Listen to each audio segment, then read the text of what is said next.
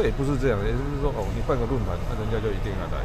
哇，就是 谁敢来比啊？那这样双美青中美青年论坛学生说，如果你不参加的话，将会让用选票让你知道学生的意见。这个我也不是说不辩论，但是我就讲了，我会上班上到啊十月八号开始请假嘛。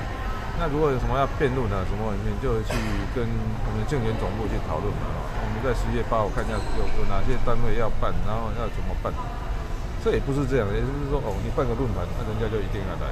哇，就是谁敢来平安呢这社会上也不可以这样，奇怪。如果说你你想做什么事，那就人家配合，奇怪。那我有我有我的行程啊，我讲过嘛，十月八号以后我请假，我就专心来打选战，你知道？但等十月八号以后来处理。他说他怎么他怎么办？他就跟我们建办人商量，在十月八号以后看看有哪些单位要办，要奉陪，没问题的。市长，那你大概什么时候要公布竞选经费啊？你大概什么时候会公布？